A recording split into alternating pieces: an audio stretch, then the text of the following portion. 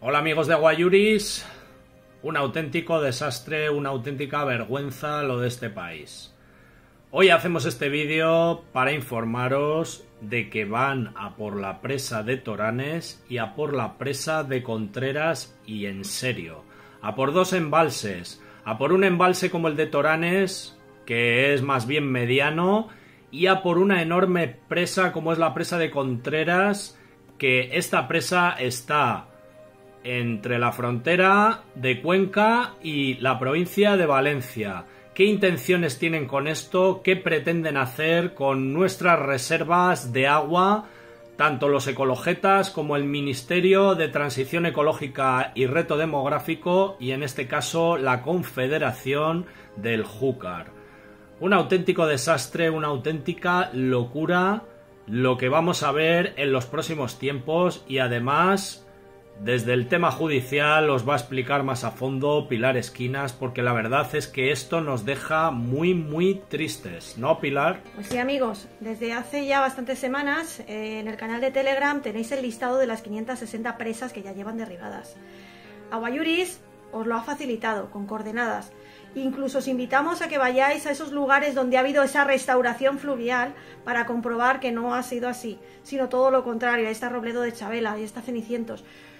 Lugares donde volaron esas presas no ha habido una mejora o una restauración del río.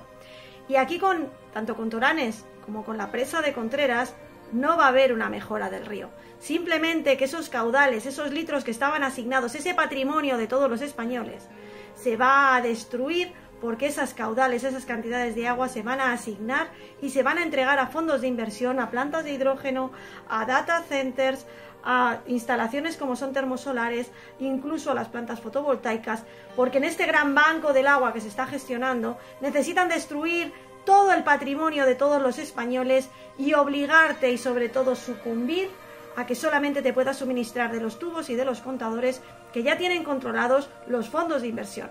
Es muy grave lo que estamos viviendo, no al derribo de las presas, Toranes y Contreras no se pueden destruir porque si seguimos consintiendo que se destruyan estas presas en vez de mantenerlas, como así dice la ley, porque una vez que ha pagado esa, eh, bueno, pues esa concesión durante esos años que tenían asignados, tenían que volverse y tenían que integrarse dentro de nuestro patrimonio. Si desconsentimos que se destruya, si consentimos que no tengamos esas instalaciones y que sean esas plantas, esos fondos de inversión los que lo generen, estamos perdiendo nuestra soberanía y estamos perdiendo la posibilidad de disponer de ese agua libremente sin tener que pagar por ella. En otro vídeo que hemos hecho sobre el derribo de estas dos presas, ha habido un ecologeta que ha hecho un comentario diciendo, pero ¿qué pasa? ¿Que es que no queréis que el río fluya? Ese agua que tenéis ahí en esa presa va a seguir existiendo, va a seguir pero río abajo, fluyendo por el río y los peces pues van a poder circular entre la desembocadura y el nacimiento libremente, pueden desovar, etcétera. Pero de verdad, esta gente se cree lo que dice, de verdad esta gente está bien de la cabeza, porque si esta gente es la que ahora los que están a los mandos le están haciendo caso a sus consejos, esta gente es la que hace los informes de impacto ambiental y esta gente es la que la Agenda 2030 quiere, los ecologetas entre comillas como nosotros les llamamos, la verdad que yo no quiero esta gente, yo no quiero que destruyan mi civilización, yo no quiero que se lleven ni un solo euro las ONGs ecologetas, ¿no, Pilar? Pues sí, porque son organizaciones no gubernamentales. Y si eres una organización no gubernamental, ¿Qué estás haciendo trabajando directamente con el gobierno? Hipócrita. ¿Qué estás haciendo directamente cobrando de nuestros impuestos? Hipócrita. ¿Qué estás haciendo al destruir el entorno? Diciendo que lo quieres salvar cuando lo único que estás haciendo es destruirlo. Hipócrita. Y sobre todo, ¿qué daño estás haciendo cuando la pobrecita gente va a ti va confiando, pensando de que va a encontrar tu apoyo, tu asesoría y que le vas a ayudar a mejorar el entorno y lo único que estás haciendo es pactar a puerta cerrada lo que les interesa a los fondos de inversión. Hipócrita. Pues amigos, la presa de Toranes va a ser más difícil que accedáis a ella la, mayoría de la población porque está muy metidita en los montes en la zona de Teruel.